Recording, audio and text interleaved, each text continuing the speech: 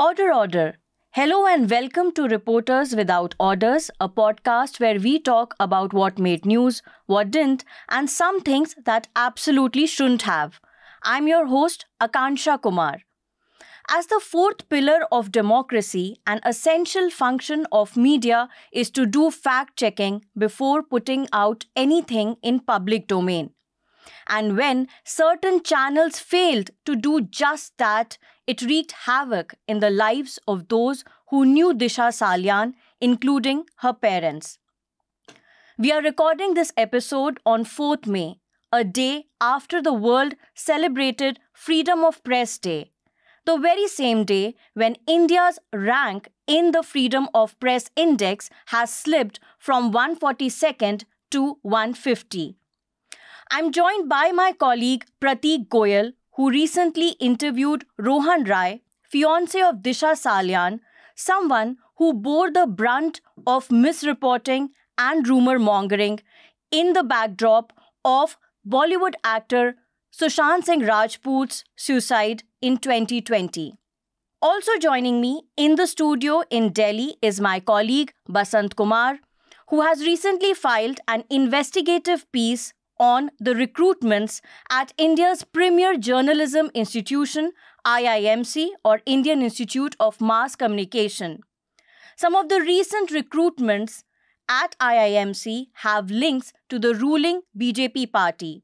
What does that mean in the wake of increasing saffronization, now pretty much evident in some of the premier educational institutes of our country? Welcome both of you Basant and Prateek Prateek सबसे पहले आपसे शुरुआत करेंगे और आपने जो story uh, करी है I would request all our readers and viewers to please go and check out Prateek story which is behind the pay wall it will tell you what damage misreporting can do to a family which was trying to come to terms with the sudden loss of their only daughter मेरा पहला सवाल प्रतीक आपसे ये है कि जो इस पूरे एपिसोड की शुरुआत हुई जहाँ पर एक वेबसाइट या कुछ न्यूज़ पेपर के न्यूज़पेपर्स थे जो सबसे पहले दिशा सालियान की एक्सीडेंटल डेथ को सुशांत के सुसाइड से जोड़ते हैं, इनकी शुरुआत कैसे हुई, इसके बारे में थोड़ा बताएँ। देखिए जो दिशा सालियान जो, उनकी जो डेथ हुई थी वो आठ और नौ की इंटरमीडिएट नाइट को हुई थी। और 9 तारीख को ही एक आर्टिकल आया पीपिंग मून करके एक फ़िल्म वेबसाइट है फ़िल्म गॉसिप वेबसाइट जो होती है मतलब तो उसमें ये लिखा हुआ था कि ये उसका हेडिंग ऐसा था कि दिशा सालियान फॉर्मर मैनेजर सुशांत सिंह राजपूत ठीक है? और उनकी डेथ हो गई है और और ऐसा बोल रहे हैं कि उनके उनके जो बॉयफ्रेंड थे, रोहन रॉय, उनसे कुछ रिलेशनशिप प्रॉब्लम्स चल रहे थे, इस चक्कर में उन्होंने सुसाइड कर लिया। तो पहली बात तो वो जो इस और उसमें आर्टिकल में ये भी लिखा था कि जो दिशा के पेरेंट्स हैं वो रोहन के बहुत खिलाफ थे और वो उनको बिल्कुल पसंद नहीं करते थे सब तमाम चीज़ें मतलब। और लिख दिया था कि वहाँ पे सात आठ टीवी के आर्टिस्ट थे उस पार्टी में और ये सब चीज़ें। अब इसमें पहली बार सबसे झूठी खबर तो यही है कि पहली बार दिशा सालियान कभी सुशांत सिंह राजपूत की मैनेजर ही नहीं थी, ठीक है? वो कभी उनकी मैनेजर नहीं थी। दूसरा ना उनके बीच, रोहन और उनके बीच ऐसी कोई बात थी। वो बहुत अच्छी तरह रह रहे थे, बिल्कुल सबका और वो ना कोई टीवी आर्टिस्ट थे, ना कोई थे, उनके सब दोस्त लोग ठीक है? अब ये जो खबर इन लोगों ने पब्लिश करी तो इसके बाद बहुत सारी दूसरी वेबसाइट्स ने उस खबर को उठाना शुरू कर दिया। और फिर अमर उजाला ने भी उसको छाप दिया। तो ये इंटरनेट पे थोड़ा सा ये ऐसी इन खबरों ने आई मीन राउंड्स करना शुरू कर दिया पूरा। और जब सुशांत सिंह राजपूत की जिस दिन डेथ हुई चौदह तारीख को तो लोगों ने सीधा लिंक कर दिया अच्छा उसकी फॉर्मर मैनेजर की डेथ हुई थी पाँच दिन पहले। और सीधा तब से वो इनिशिएट वहाँ से हुआ, वो शुरुआत उसकी वहाँ से हुई। और उस, तब भी पीपिंग मूव में दूसरी खबर करी कि सुशांत बहुत दुखी था उनकी डेथ को लेके और मतलब और भी, और वो सुशांत की मैनेजर थी 2016 में, जबकि 2016 में वो ऐश्वर्या राय को उनके जो मेन मैनेजर थे, थे उनको असिस्ट करती थी। ठीक है? तो ऐश्वर्या राय के साथ काम कर रही थी उसको तो वापस से वो जब और इंटरनेट पे ये लिंक होना शुरू हो गया कि ये उनकी फॉर्मर मैनेजर थी और इनकी डेथ के कुछ दिन पहले इनकी डेथ हो चुकी है तो क्या और वहाँ से धीरे धीरे उसको सोशल मीडिया फिर मीडिया और फिर तो फिर मतलब वो ऐसा उठाया कि अपन सभी जानते हैं कि कितने महीनों तक वही सब चलता रहा था टीवी पे। और कितनी उसको लेके अजीबो गरीब मतलब हद से ज़्यादा फेक न्यूज़ इस मामले में हुई थी। उसकी शुरुआत ऐसे हुई थी। यहाँ पर मैं बसंत आपको थोड़ा सा लाना चाहूँगी क्योंकि आ, मीडिया की रिपोर्टिंग आप भी बहुत एक्सटेंसिवली करते हैं और बहुत ही आ, बारीक नज़र आप बनाए रखते हैं आ, चाहे वो डिजिटल ऑर्गेनाइजेशंस हो न्यूज़ चैनल्स हों। इस केस में मतलब ये काफ़ी हैरानी की बात है कि अब मिस रिपोर्टिंग की नौबत आ गई है। तो अगर आप ये थोड़ा समझा सकें कि इसमें जो ये टीआरपी की होड़ है और ये जो मिस रिपोर्टिंग है, इनके बीच में क्या कनेक्शन है? उससे पहले मैं एक छोटा सा कुछ बोलना चाह रहा था। जब दिशा साल्यान की मतलब डेथ हुई थी तो मेरी एक दोस्त है मुंबई में वो फ़िल्म इंडस्ट्री में काफ़ी दिनों से एक्टिंग करती हैं। उन्होंने एक रात को हमको 11 बजे करीब में फ़ोन किया। और लगभग डेढ़ घंटे तक हमको पूरा कॉन्स्परेसी समझाए, जिसमें ये था कि जो महाराष्ट्र सरकार के एक बहुत सीनियर मंत्री का रोल भी उन्होंने मुझे बता दिया। और मैं सोच रहा था कि मतलब डेढ़ घंटे तक मुझे समझाती रही, ऐसे हुआ, वो उस वक्त ये मंत्री भी उस घर में मौजूद थे और उनको बचाने के लिए सुशांत की हत्या हुई है, ये सब चीज़ें। तो पता चला, जैसे प्रतीक सर की स्टोरी पढ़ने के बाद कि किस तरीके से फेक न्यूज़ आसपास के लोगों को। और उनका ये भी कहना था जो मेरी दोस्त थी कि मेरे अपने एक बहुत करीबी आदमी उस पार्टी में मौजूद थे। तो मैं कहा यार ये कैसे हो सकता है कि मतलब आप ऐसे कह रही हैं? और मंत्री भी मौजूद थे। खैर टीआरपी की जहाँ बात है भारत में सुशांत सिंह राजपूत का पूरा माम, मामला जो था और उस वक्त मुझे याद है एक बहुत ही खूबसूरत लेख छपा था सत्याग्रह में कि जो आज सुशांत सिंह राजपूत के बेहद प्यारे करीबी बन रहे हैं भाई बन रहे हैं वो कुछ दिनों बाद किसी और के प्यारे भाई बन जाएँगे और आप हम मूर्ख बनते रह जाएँगे जो टीवी के दर्शक हैं। आप देखिए अर्णव गोस्वामी का चैनल हो या प्रतीक सर ने उस वक्त भी एक बहुत आ, मतलब एक्सटेंसिव रिपोर्ट किया था किस तरीके से भारतीय टेलीविज़न के पत्रकार वहाँ पे महाराष्ट्र में हरकतें कर रहे हैं। एक लड़की जिस पे आरोप लगा था महज वो प्रेमिका थी सुशांत की और उनके पूरे आज तक चैनल जो लंबे समय तक नंबर वन पे रहा उनका बंगाल का बैकग्राउंड था और वहाँ के जो जादू, टोना, इन तमाम चीज़ों पर रिपोर्ट किया। तो फैक्ट से तो कोई उनको मतलब है नहीं।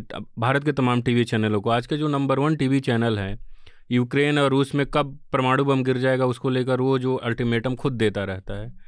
तो फैक्ट से उन्हें कोई मतलब नहीं है, चाहे कोई भी मामला हो, और उनको बस नंबर चाहिए। तो ये तो चल ही रहा है, लगातार ही चल रहा है टीवी में खासकर।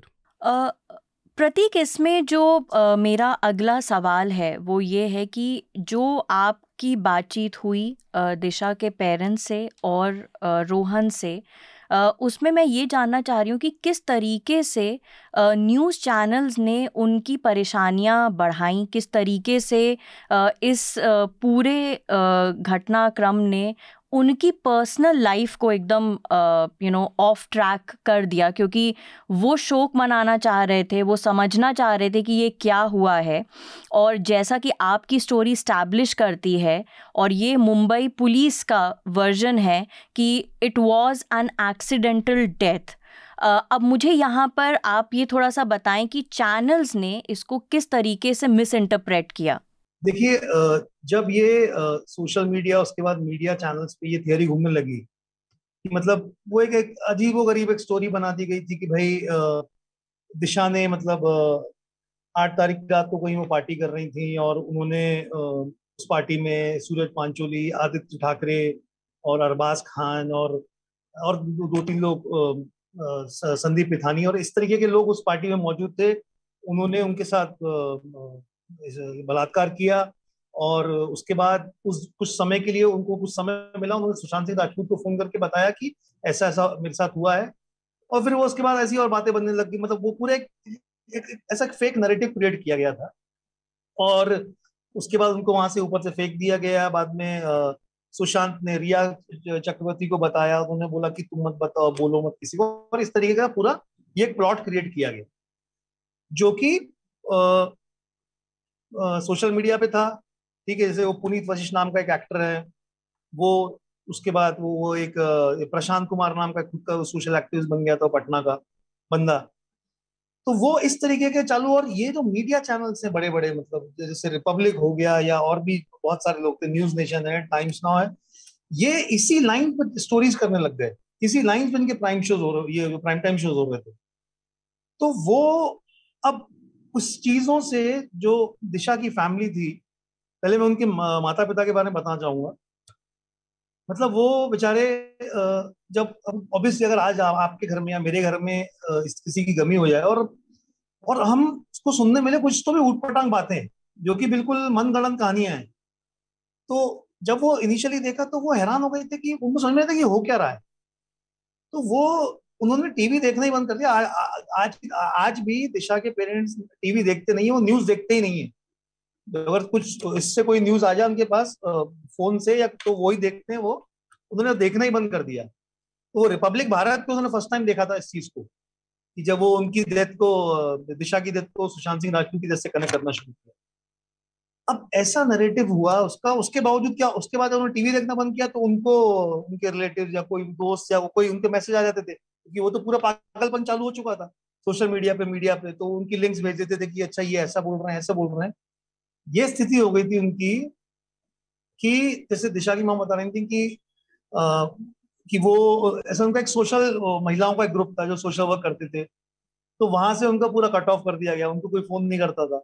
उसके बाद मतलब आ, उनके रिलेटिव उन पे वो नहीं करते थे उनकी कम्युनिटी के लोग। तो मतलब एक पूरा एक एक बॉयकॉट मतलब बॉयकॉट की वो उनको एक बहुत झेप, उनको वो परेशान हो गई थी समझा समझा के कि जो टीवी पर दिखा रहे हैं ये गलत है, ये झूठ है।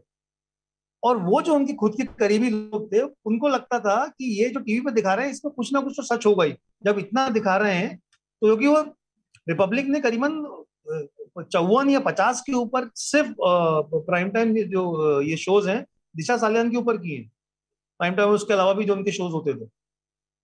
तो ये उनके लोगों मतलब उनको ये शक होता था कि नहीं ये इसके पेरेंट्स झूठ बोल रहे हैं। मतलब वो इतने परेशान हो गए थे।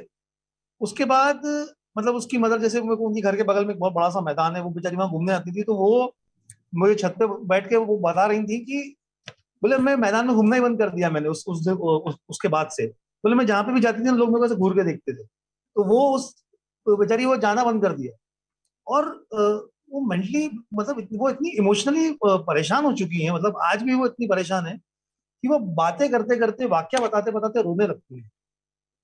मतलब वो बोल कि, कि मेरी बेटी की तो डेथ हुई है लेकिन ये लोग तो उसको मतलब हम लोग को जीने नहीं दे रहे मतलब हर रोज उसका कैरेक्टर का असैसिनेशन करते रहते हैं। खुद अपन जस्ट इमेजिन अपन तीनों बैठे हैं। अपने घर में ऐसा हादसा हो जाए और कोई बोले कि हाँ वो तो आपकी सिस्टर प्रेग्नेंट थी।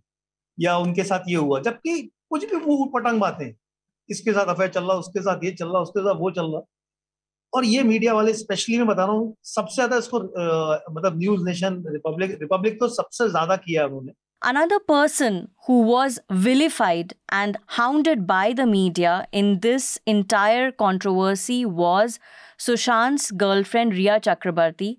And I would uh, like all the viewers to take a look at one of the video reports uh, done by Pratik uh, back then, which uh, just establishes how very easily media frenzy turns uh, something into an a complete circus. क्या Mumbai police private police है तुम्हारी